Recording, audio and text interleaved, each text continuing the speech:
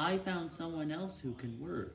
That guy gets about 15,000 comments in the first 24 hours. Although there is a small problem with it, I still think it's okay. And also, I don't know if there's a lot of spam or not, like what happened on A4 today, and we quickly deleted the links there. So if there's a lot of spam there, I'm going to be extremely upset, and I think we should belong back to normal, like it was a couple of days ago.